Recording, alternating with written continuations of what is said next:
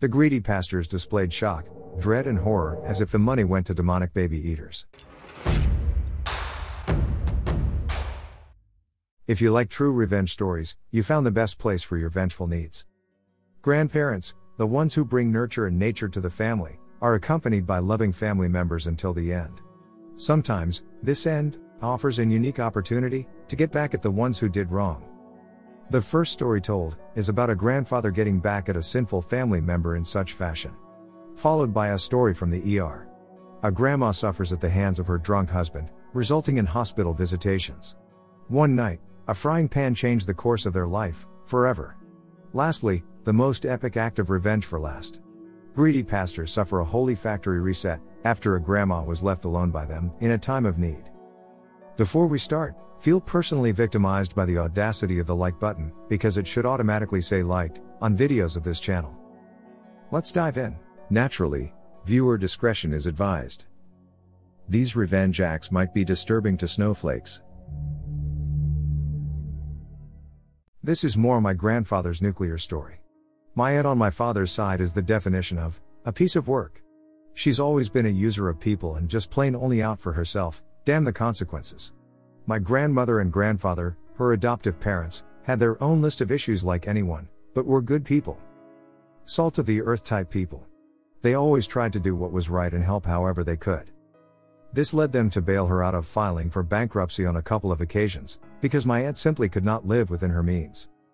Add on, that she had slash has a history of just being a really crappy person. Like stealing my grandfather's social security checks and retirement checks when it suited her.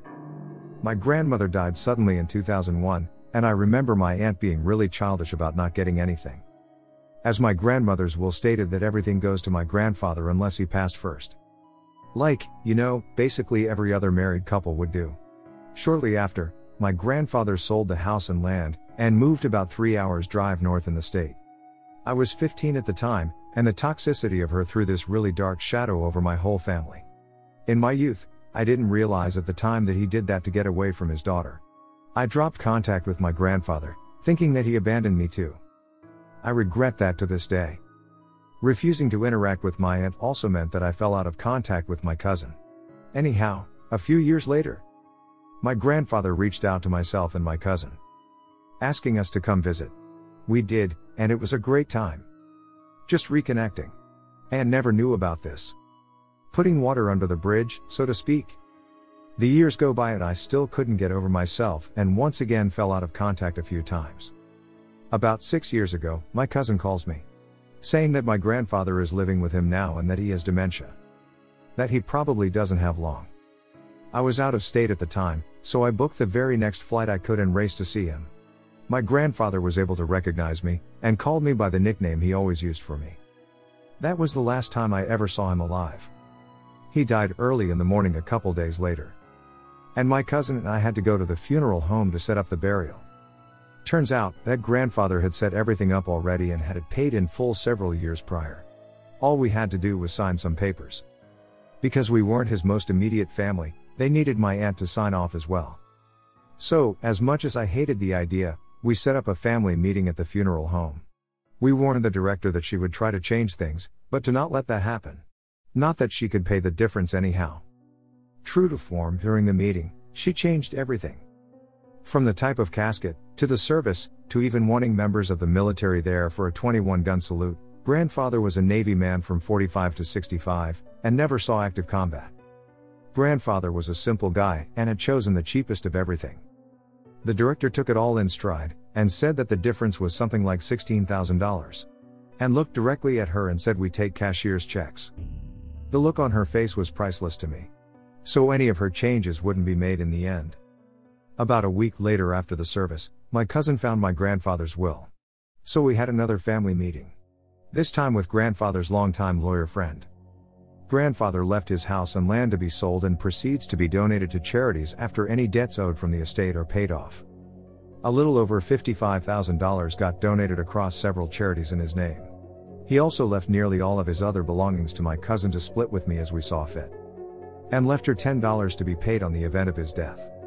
Later, it was explained that he left her $10, so that she wouldn't have recourse to challenge the will. If you don't name a living immediate family member, they can challenge the will through some legal process. We found out as well that he had also sold the graveyard plot that was reserved for her next to my dad and my grandparents. I saw her about a month ago, looking like she may be homeless and obviously on drugs of some sort. I felt nothing but contempt and also a little schadenfreude. My aunt was an intensive care nurse at a hospital in Texas for 30 years. This is her story. A while back, my aunt tells me and my cousins this story, probably as a warning about drinking, I guess. For years, Mrs. Smith would come into my aunt's ER battered and bruised. Apparently, sometimes quite severely. The woman was getting up there in years and had almost monthly visits, that sometimes required her to stay for a week or more. A quick rundown of some of the injuries I recall broken pelvis, explained by falling downstairs in her one story home. Broken arms, wrists, explained as falling out of her car. A shattered orbital bone in her eye socket a series of broken ribs, covered by various excuses. Lastly, her loony husband broke her back, which required fusing three of her vertebrates. They said it was a driveway car accident. So, Mr. Smith is appropriately qualified as a total piece of doo doo. On the end of my aunt's 12 hour shift, the call comes in from the ambulance that they are bringing in a 70 year old Smith. Faces fell, everyone gets somber knowing that Mrs. Smith probably won't survive the night, due to the years of beatings she's already endured. The ER calls the ambulance back, asking for a description of the injury so the OR can be somewhat prepared. What they heard on the radio threw everyone off, making some even angry. The paramedics were completely unprofessional. They were laughing their butts off, as they described broken arm, broken leg, and lacerated scalp. When the ambulance pulls up, my aunt and several other ER staff are trying to read them the riot act. Instead, Mrs. Smith primly stepped out of the ambulance, the paramedics pull the stretcher out of the ambulance, and will her husband inside. Enough is enough. Apparently, that's all she said. The paramedics had to fill in the rest of the story. So here it is. Mr. Smith came home drunk one last time. And she wrapped him in a blanket, beat him with a cast iron frying pan. Mr. and Mrs. Smith never came back to ER, maybe he learned. My grandmother generously served her Bible believing Christian church for almost 50 years, without asking anything in return. But when she became elderly, disabled, and homebound, her church acted like she did not exist anymore. Until she was in hospice care and literally on her deathbed, when that church showed a sudden interest in telling Grandma to remember your church in your will. She waited until exactly the right moment, in front of exactly the right audience, to expose these greedy booger faces for what they were. She did so twice. My grandmother was a member of a large conservative, Bible believing church for her entire adult life. This church, which I'll call Big White Church, was a member of a large evangelical denomination. Big White Church was located in a prosperous suburb of a large city in the Bible Belt of the deep south of the USA. Grandma was very active in Big White Church. She worked in the nursery every Sunday morning, helped cook hundreds of church fellowship breakfasts and dinners, accompanied her children and grandchildren on dozens of church retreats and choir tours. She also taught youth Bible study on Sunday nights and was very active in supporting home missions, as well as helping with other youth programs. She always tithed, and often gave extra for missions and special offerings. Grandma's greatest talent was making other people feel important. I've seen this firsthand many times. Although I belonged to a different church, I often visited with Grandma, and when I did, I usually went to big white church functions with her. I've seen her single handedly cook breakfast for dozens of big white church youth, a task which took over two hours. Even in the church's large kitchen. Then, after the meal, she asked the group for a round of applause for the high school student leader for doing such a great job of organizing the prayer breakfast. I remember that, on a big white church youth retreat at a rural church camp, she drove most of the night to go back to the city and retrieve a big box of evangelistic materials. A box that one of the assistant pastors, whom I'll call mouth breathing pastor, had forgotten and asked her to get. In time for our morning program the next day. His boss, the senior pastor, I'll call him Bossy Pastor. Never found out that mouth breathing pastor had screwed up or that grandma had fixed it for him. Mouth breathing pastor never even thanked grandma. Even though I was a child, this bothered me so much that I asked her about it. She said that she didn't mind at all. She told me her reward would be that those materials would help children find Jesus. Grandma's service to her church ended abruptly at the age of 73, when she broke her back in a car accident. Afterwards, for the last 10 years of her life, she was homebound and could not go to church because of this injury and declining health, due to old age. Her mind was just as sharp as ever, and her faith remained sincere, but her body wore out a little more every day. During those 10 years, she made many efforts to reach out to her church, its leadership, and her church friends, inviting them to visit her at her home, etc., without success. Every one of these invitations was declined or simply ignored. Near the end, when she was in home hospice care, she decided to plan her own funeral. She and my grandpa called her church and asked for the senior pastor, bossy pastor, whom she had known for over 30 years, to visit her so that they could plan her memorial service, which she and grandpa wanted to be held at the church. Bossy pastor was too busy, but mouth breathing pastor stopped by a few days later. According to my grandpa, here's what happened at that meeting, with my grandma literally on her deathbed. Grandma, grandpa, and mouth breather discussed her funeral for a couple of minutes. Then mouth breather started pressuring her to lay up your treasure in heaven by remembering your church and your will. Grandpa told him firmly that this is neither the time nor the place to discuss her will.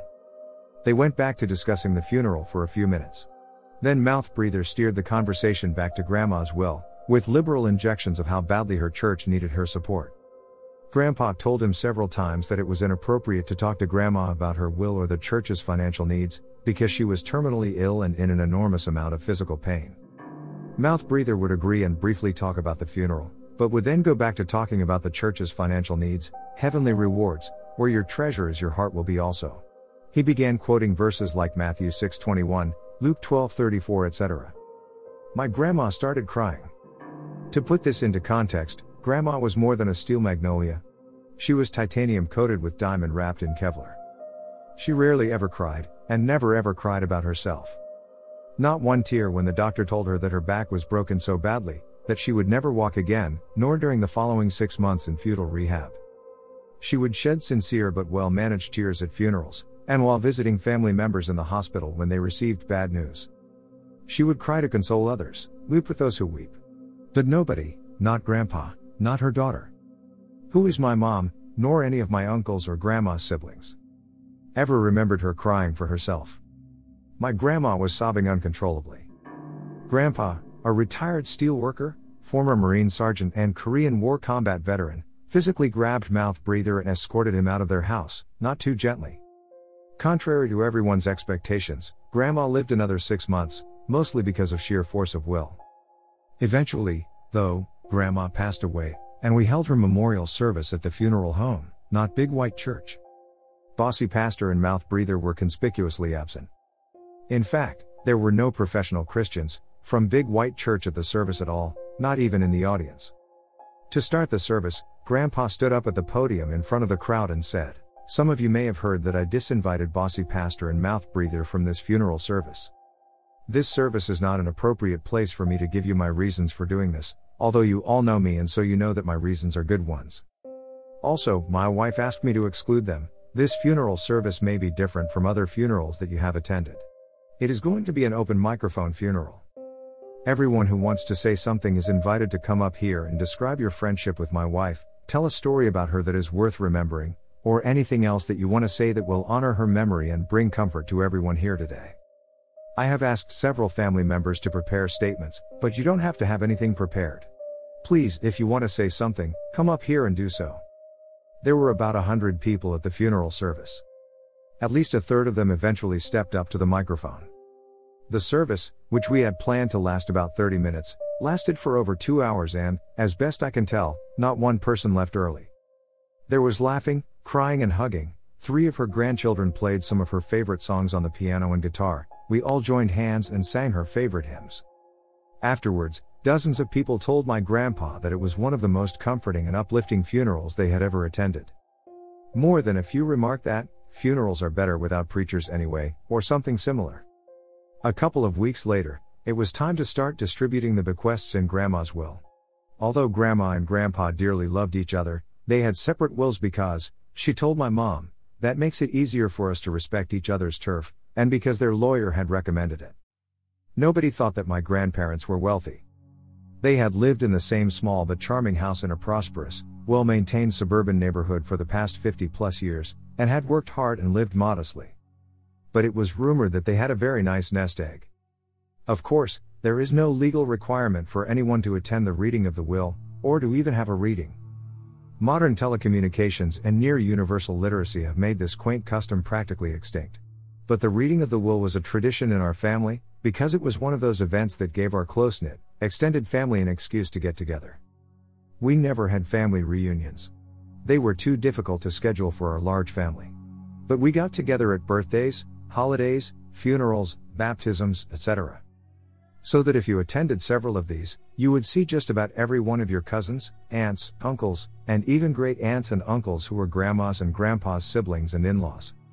With this family tradition in mind, many of our family members' wills often contained very personal bequests of items that had little cash value, but were the departed family members' way of telling their loved ones that they wanted to share a cherished memory with them one last time. As an added incentive to attend, the family rumor mill had been buzzing with speculation, encouraged by Grandpa. That grandma's will contain some surprises. The reading was held in a conference room at a lawyer's office.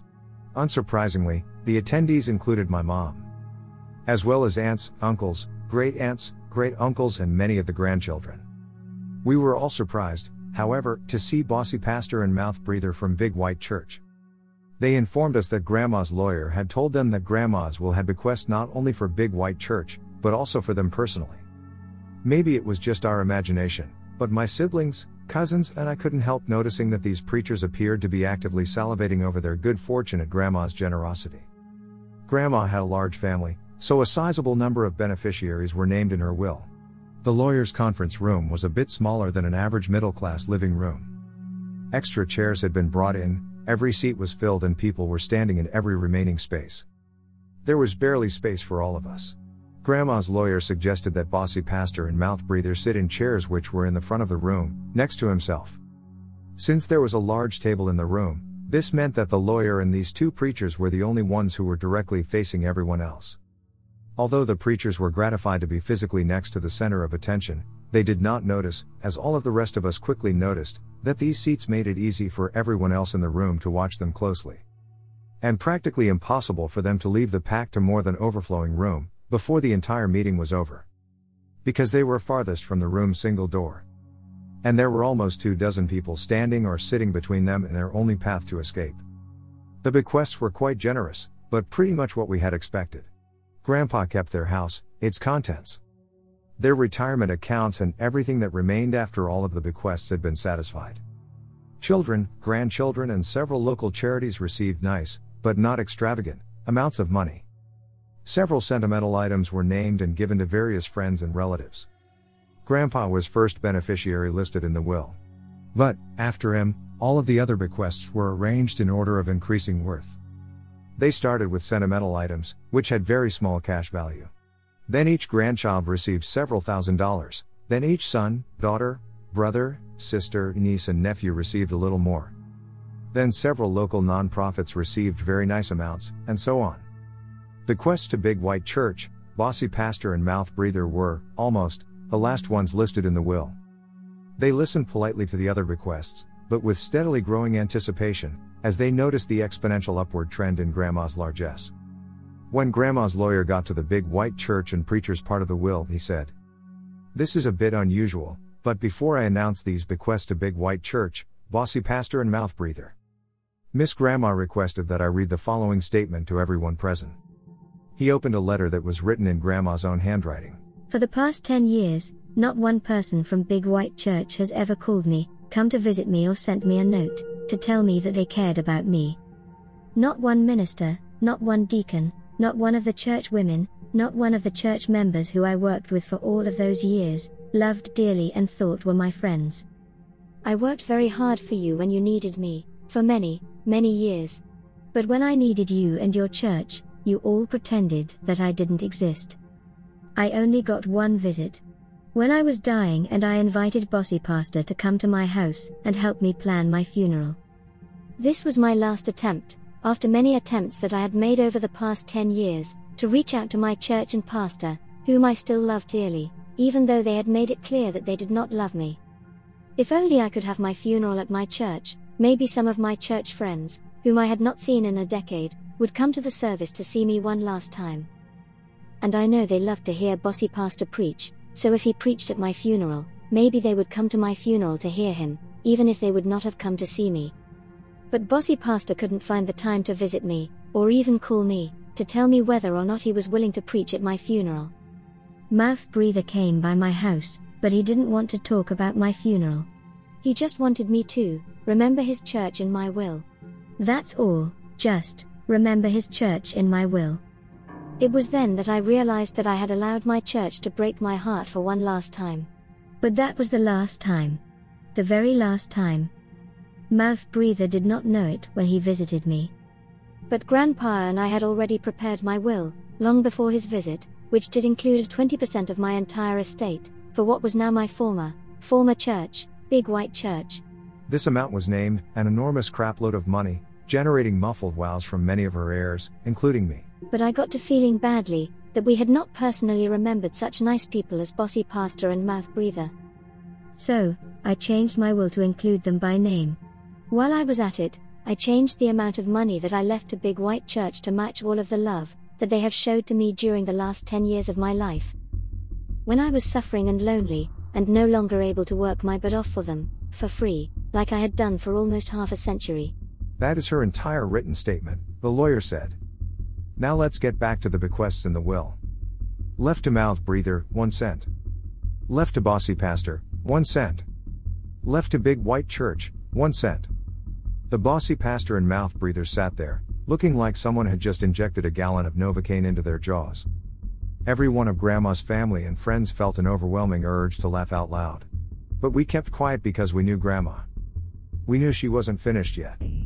Grandma was simply setting them up for a one two punch. The best was yet to come, and we didn't want to miss it. There is one last bequest, the lawyer continued. For a charity called, which he named and I'll call Black Charity, then he paused before naming the amount.